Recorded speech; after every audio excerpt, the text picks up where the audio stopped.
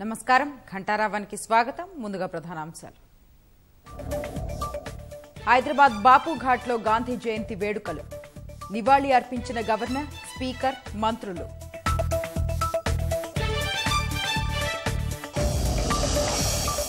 Telugu academy ఎఫ్డీల గోల్మాల్పై ముమ్మర దర్యాప్తు. AP mercantile చుట్టూ బిగుస్తున్న ఉచ్చు.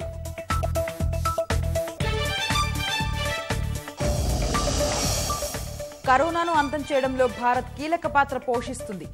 ప్రపంచ దేశాలకు టీకాలు అందిస్తోందన్న అమెరికా.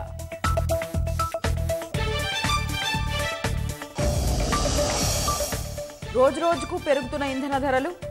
హైదరాబాద్లో పెట్రోల్ నూట ఆరు డీజిల్ తొంభై తొమ్మిది రూపాయలు.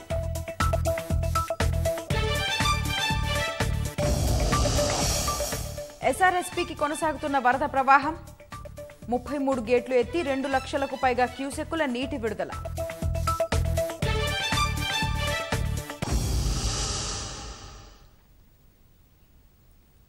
హైదరాబాద్ లంగర్ హౌస్లోని బాపు ఘాట్లో గాంధీ జయంతి వేడుకలు ఘనంగా నిర్వహిస్తున్నారు. పలువురు రాజకీయ ప్రముఖులు జాతిపితకు నివాళులు అర్పించారు. హర్యానా గవర్నర్ దత్తాత్రేయ రాష్ట్ర గవర్నర్ తమిళిసై సహా మంత్రులు కేటీఆర్ శ్రీనివాస్ గౌడ్ పూలమాలలు వేసి స్మరించుకున్నారు. మహాత్ముడి సేవలను గుర్తు చేసుకున్నారు.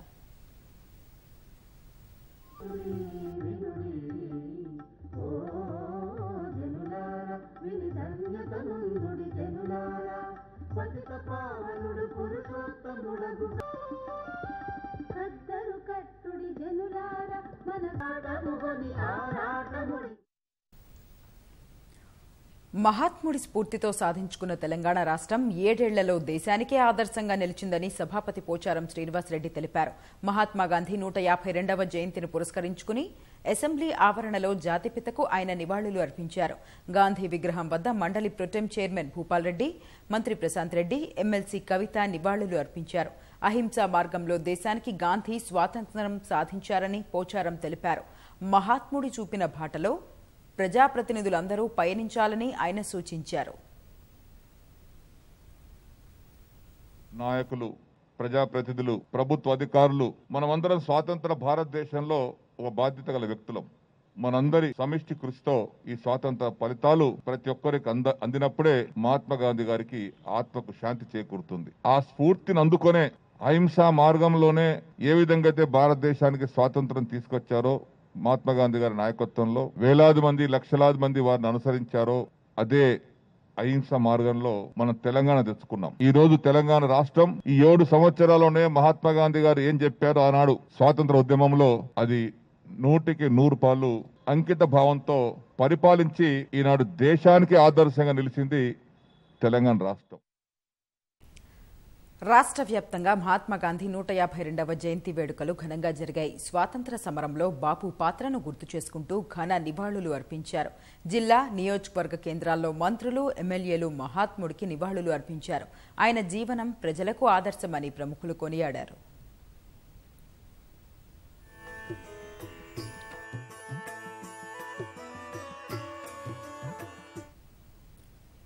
జగిత్యాల జిల్లా మెట్పల్లిలోని ఖాదీ గ్రామోద్యోగ ప్రతిష్టాన్లో మహాత్ముడికి ఘన నివాళులు అర్పించారు. జాతిపిత జయంతిని పురస్కరించుకుని ఖాదీ కార్యాలయంలో మహాత్ముడి చిత్రపటం ముందు అఖండ సూత్ర యజ్ఞాన్ని నిర్వహించారు. ఉదయం ఆరు గంటల నుంచి సాయంత్రం ఆరు వరకు నిరంతరాయంగా రాట్నంతో దారాన్ని వడుకుతున్నారు. దారాన్ని దండగా మార్చి మహాత్ముని చిత్రపటానికి వేసి నివాళులు అర్పించనున్నారు. ఏటా గాంధీ జయంతిని పురస్కరించుకుని అఖండ సూత్ర యజ్ఞంలో పాల్గొంటామని ఖాదీ కార్యకర్తలు చెబుతున్నారు.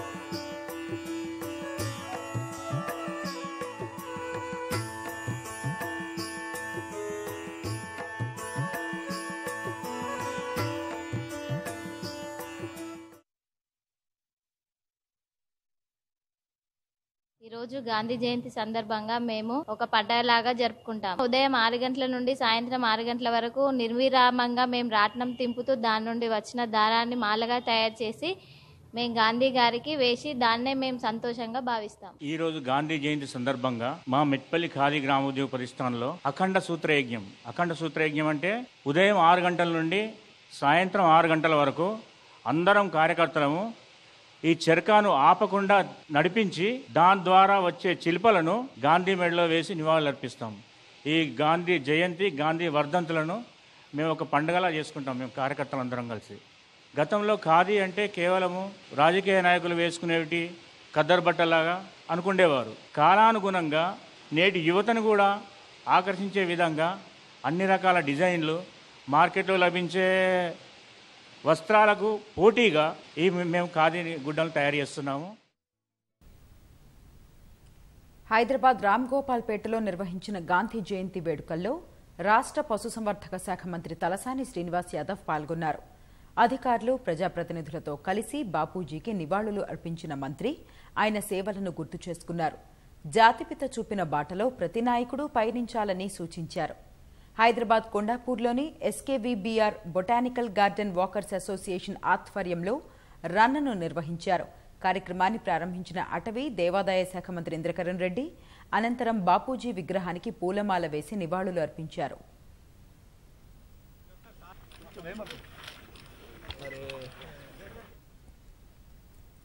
హైదరాబాద్ సరూర్ నగర్లో ఆర్మీ ఆర్గనైజేషన్ ఆధ్వర్యంలో ఫిట్ ఇండియా ఫ్రీడమ్ రన్ను నిర్వహించారు. Saroor Nagar mini tank bund నుంచి కర్మన్ ఘాట్ వరకు చేపట్టిన ఈ కార్యక్రమంలో పోలీసులు విద్యార్థులు పెద్ద ఎత్తున పాల్గొన్నారు. నల్గొండలో నెహ్రూ యువ కేంద్రం ఆధ్వర్యంలో టూకే రన్ నిర్వహించారు. అనంతరం జిల్లా కలెక్టర్ ప్రశాంత్ జీవన్ పాటిల్ స్థానిక ఎమ్మెల్యే భూపాల్ రెడ్డి గాంధీ విగ్రహానికి పూలమాలలు వేసి నివాళులు అర్పించారు. హనుమకొండలో గాంధీ జయంతి వేడుకలు ఘనంగా జరిగాయి. పబ్లిక్ గార్డెన్ వద్ద మహాత్ముడి విగ్రహానికి రాజ్యసభ సభ్యుడు బండప్రకాష్ జిల్లా కలెక్టర్ రాజీవ్ పూలమాలలు వేసి నివాళులు అర్పించారు.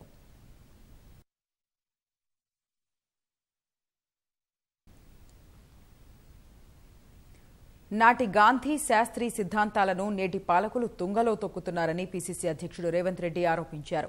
ఎన్నో వ్యయ ప్రయాసలకు ఓర్చి దేశాన్ని అన్ని రంగాల్లో అద్భుతంగా నిర్మిస్తే భాజపా పాలకులు దేశాన్ని అమ్మకానికి పెట్టారని రేవంత్ రెడ్డి పేర్కొన్నారు. గాంధీ లాల్ బహదూర్ శాస్త్రి జయంతి సందర్భంగా గాంధీ భవన్లో రేవంత్ రెడ్డి వారి చిత్రపటాలకు నివాళులు అర్పించారు. రాష్ట్రంలో గులాబీ చీడ పీడిస్తుందన్న రేవంత్ రెడ్డి జంగ్ సైరన్ పేరుతో చేస్తున్న పాదయాత్రకు ప్రభుత్వం ఆటంకాలు సృష్టిస్తోందన్నారు. కాంగ్రెస్ పార్టీ శాంతియుతమైన కార్యక్రమం తీసుకుంటే మహాత్మా గాంధీ జయంతి రోజు ఈ రోజు కాంగ్రెస్ పార్టీ నాయకులను అక్రమంగా నిర్బంధించి పోలీస్ స్టేషన్లలో పెడుతుండ్రంటే కేసీఆర్కు కాలం చెల్లిందన్న సంగతి వేదిక మీద నుంచి నేను హెచ్చరిస్తున్నా. ఈ రకమైన వైఖరి మంచిది కాదు. కొద్దిమంది పోలీస్ అధికారులు కూడా తమ రాజకీయ బాసులు చెప్పినట్టుగా వ్యవహరించడం ఏమాత్రం సమంజసం కాదు. ఈరోజు గాంధీ జయంతి. మేము శాంతియుతంగా ప్రశాంతంగా ప్రజాస్వామ్యయుతంగా రాజీవ్ గాంధీ గారికి ఇందిరాగాంధీ గారికి నివాళులు అర్పించి అక్కడి నుంచి వెళ్ళి శ్రీకాంతాచారి గారికి నివాళులు అర్పించి వారి త్యాగ స్ఫూర్తిగా విద్యార్థి నిరుద్యోగ యువత కోసం పోరాడాలని మేము అనుకుంటున్నాం. కేసీఆర్ గారు మీ దృష్టిలో ఉందో లేదో మా కాంగ్రెస్ పార్టీ కార్యకర్తల్ని ఆల్రెడీ మీ పోలీసులు అరెస్ట్ చేసిండ్రు.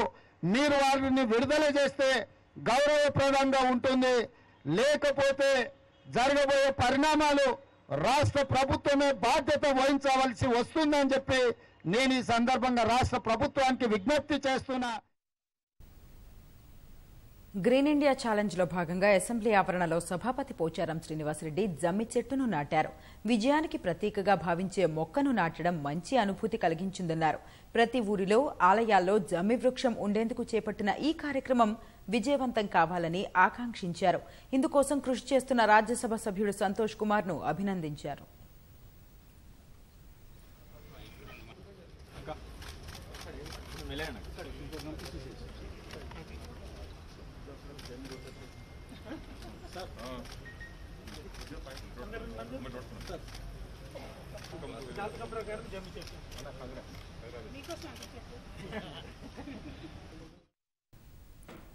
శ్రీరామ్ సాగర్ ప్రాజెక్టులోకి వరద కొనసాగుతోంది. ఎస్ఆర్ఎస్పీలోకి మూడు లక్షల క్యూసెక్కులు వస్తుండగా ముప్పై మూడు గేట్లు ఎత్తి రెండు లక్షల ఇరవై ఆరు వేల క్యూసెక్కులు దిగువకు విడుదల చేస్తున్నారు.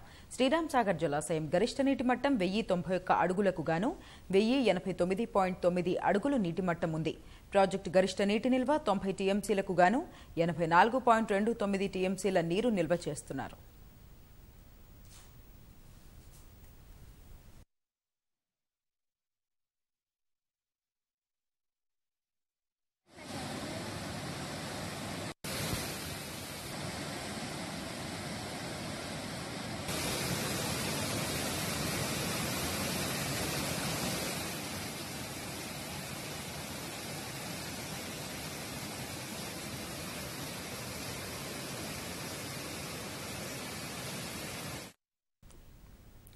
తెలుగు అకాడమీకి చెందిన అరవై కోట్ల రూపాయలను కాజేసిన వ్యక్తుల నుంచి డబ్బులు రికవరీ చేసేందుకు సీసీఎస్ పోలీసులు ప్రయత్నిస్తున్నారు.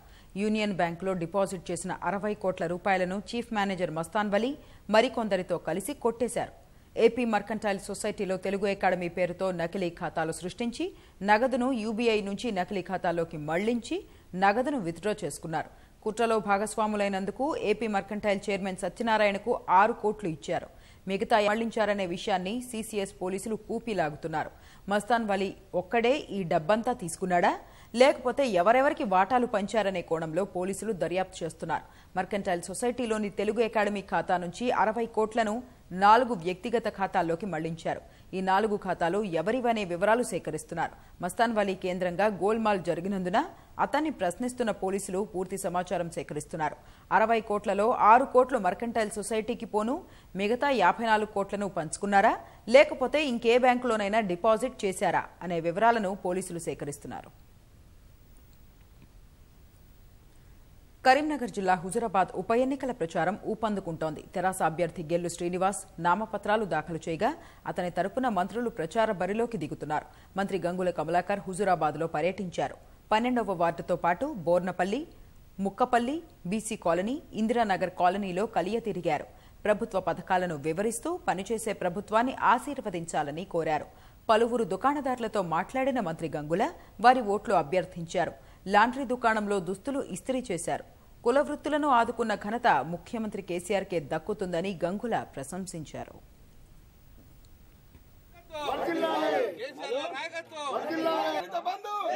దళితుల ఆశా జ్యోతి దళితుల ఆశా జ్యోతి దళితుల ఆశా జ్యోతి కేసీఆర్ గారి నాయకత్వం కేసీఆర్ గారి నాయకత్వం తెలంగాణ వస్తే ఏమొస్తుందంటే తెలంగాణ వస్తే బడుగు బలహీన వర్గాలు ఆర్థికంగా ఎదుగుతారనే తలంపుతోటి ఈ రోజుకి తెలంగాణ రాష్ట్రం సాధించుకున్న గౌరవ ముఖ్యమంత్రి గారు. నిజంగా తెలంగాణ రాకపోతే దళిత బంధు వచ్చినా? తెలంగాణ రాకపోతే ఈ కరెంట్ వచ్చినా? తెలంగాణ రాకపోతే ఈ నీళ్ళు వచ్చినా?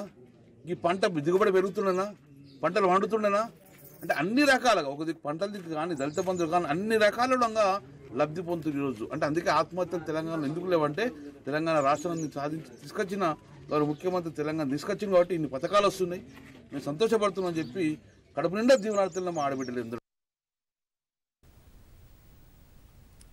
దసరా నవరాత్రి ఉత్సవాలకు హైదరాబాద్ మాతాపూర్ శిల్పారామం ముస్తాబైంది నగరవాసులకు పండుగ సందర్భంగా అవసరమైన ధర్మవరం పోచంపల్లి గుజరాత్ కచ్కి చెందిన పటోళ్ళ చీరలు అందుబాటులో ఉండనున్నాయి.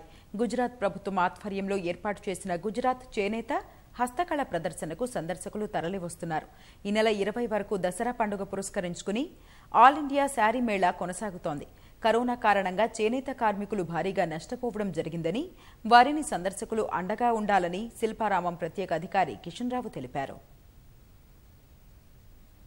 मैं मगी बिन रबारी मैं कच्छ गुजरात से हूँ और मैं यहाँ आके सब लोगों को कहना चाहती हूँ कि हमारा हैंडीक्राफ्ट है सब हाथ से किया हुआ है और ये बहुत महंगा तो लगता है लेकिन ये बहुत ही अच्छा है क्योंकि हम ये सब काम अपने हाथ से बनाते हैं और कई सारे कारीगर हैं हमारे साथ जुड़े हुए हेलो हैदराबाद हम गुजरात सूरत से आए हैं और हमारा प्रोडक्ट है बीड वर्क जिसको हमने क्या गुजरात के बीड वर्क को डिफरेंट डिफरेंट डिज़ाइन में ढाला है हम चाहते हैं कि हैदराबाद के सारे लोग यहाँ आए और हमारी कला को देखें और परचेस भी करें తెలంగాణే కాకుండా ఆంధ్రప్రదేశే కాకుండా మొత్తం ఇండియా నుంచి మొత్తం సారీస్ ఆర్టిజాన్స్ని పిలిపించి దగ్గర దగ్గర డెబ్బై మంది స్టాల్స్ వస్తున్నారు.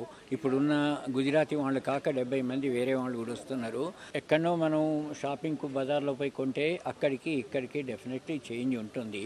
ఇక్కడ ఒరిజినల్ ఆర్టిజాన్స్ ఒరిజినల్ వ్యూవర్స్ వస్తారు. ఈ మధ్యన మిడిల్ మ్యాన్కి ఉండేటువంటి లాభాలు అనేది దీంట్లో ఉండవు కాబట్టి వెరీ రీజనబుల్ ప్రైస్లో కొనేటువంటి అవకాశాలు ఇక్కడ ఎక్కువ ఉంటాయి. దేశంలో కరోనా కొత్త కేసులు నూట తొంభై ఏడు రోజుల కనిష్టానికి చేరుకున్నాయి. శుక్రవారం ఉదయం ఎనిమిది గంటల నుంచి ఈ ఉదయం ఎనిమిది గంటల వరకు కొత్తగా ఇరవై నాలుగు వేల మూడు వందల యాభై నాలుగు కేసులు నమోదైనట్టు కేంద్ర ఆరోగ్య శాఖ తెలిపింది. ఒక్క కేరళలోనే పదమూడు వేల ఎనిమిది వందల ఎనభై నాలుగు పాజిటివ్లు వచ్చినట్టు పేర్కొంది. ఫలితంగా దేశంలో మొత్తం కేసుల సంఖ్య మూడు కోట్ల ముప్పై ఏడు లక్షల తొంభై ఏడు వేల అరవై ఒకటికి పెరిగింది. మరో రెండు వందల ముప్పై నాలుగు మందిని బలి తీసుకున్న వైరస్ ఇప్పటి వరకు నాలుగు లక్షల నలభై ఎనిమిది వేల ఐదు వందల డెబ్బై మూడు మందిని పొట్టన పెట్టుకుంది. ప్రస్తుతం దేశంలో రెండు లక్షల డెబ్బై మూడు వేల ఎనిమిది వందల ఎనభై తొమ్మిది యాక్టివ్ కేసులున్నాయి.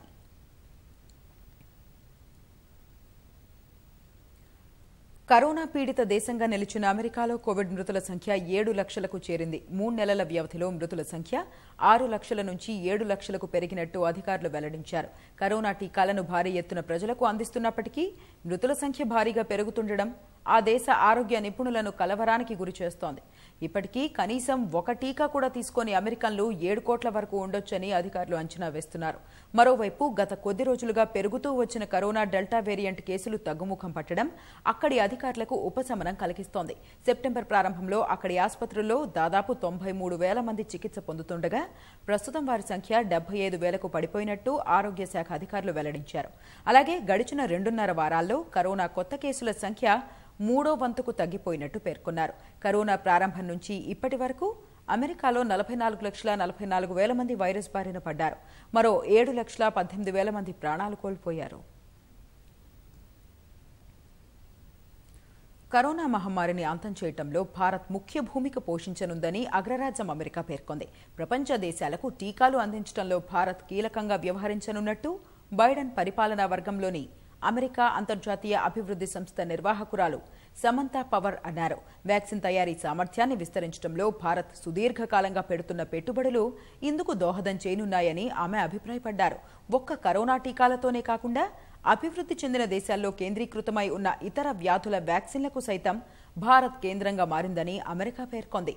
తద్వారా భారత్లో ఎన్నో దేశాలకు ప్రేరణగా నిలుస్తోందని ప్రశంసించింది. దేశంలో ఇంధన ధరలు మరోసారి భగ్గుమన్నాయి. లీటర్ పెట్రోల్పై ఇరవై ఐదు పైసలు డీజిల్పై ముప్పై పైసలు పెంచుతూ చమురు సంస్థలు నిర్ణయం తీసుకున్నాయి. పెరిగిన ధరలతో దేశ రాజధాని ఢిల్లీలో లీటర్ పెట్రోల్ నూట రెండు రూపాయల పద్నాలుగు పైసలకు చేరగా డీజిల్ తొంభై రూపాయల నలభై ఏడు పైసలకు పెరిగింది. ఆర్థిక రాజధాని ముంబైలో లీటర్ పెట్రోల్ ధర నూట ఎనిమిది రూపాయల పంతొమ్మిది పైసలకు పెరగ్గా డీజిల్ తొంభై ఎనిమిది రూపాయల పదహారు పైసలకు చేరుకుంది. దేశంలోని మెట్రో నగరాలతో పోలిస్తే ముంబైలోనే చమురు ధరలు అత్యధికంగా ఉన్నాయి. అటు హైదరాబాద్లో లీటర్ పెట్రోల్ ధర నూట ఆరు రూపాయల ఇరవై ఐదు పైసలకు చేరగా డీజిల్ తొంభై ఎనిమిది రూపాయల డెబ్బై రెండు పైసలుగా ఉంది. విజయవాడలో లీటర్ పెట్రోల్ నూట ఎనిమిది రూపాయల ఇరవై ఒక్క పైసలకు పెరగ్గా డీజిల్ వంద రూపాయల పదమూడు పైసలకు చేరింది. వర్ధమాన సినీ కథానాయిక దృషికా చందర్ బంగారు వజ్రాభరణాల్లో మెరిసిపోయారు. మోడల్స్లో కలిసి ర్యాంప్పై క్యాట్ వాక్తో అధరహో అనిపించారు. హైదరాబాద్ పంజకుట్ట మానేపల్లి జ్యువెలరీ షోరూంలో దసరా పండుగ సందర్భంగా సరికొత్త జ్యువెలరీ కలెక్షన్స్ అందుబాటులోకి తెచ్చారు. ఈ కలెక్షన్ను వర్ధమాన సినీ కథానాయిక ద్రిషికా చందర్ ఆవిష్కరించారు. ఈ సందర్భంగా మోడల్స్తో ప్రత్యేక ఫ్యాషన్ షోను ఏర్పాటు చేశారు. బ్రైడల్ వెడ్డింగ్ ఫెస్టివ్ కలెక్షన్స్ ప్రదర్శిస్తూ ముద్దుబొమ్మలు నిర్వహించిన ఫ్యాషన్ షో కనువిందు చేసింది.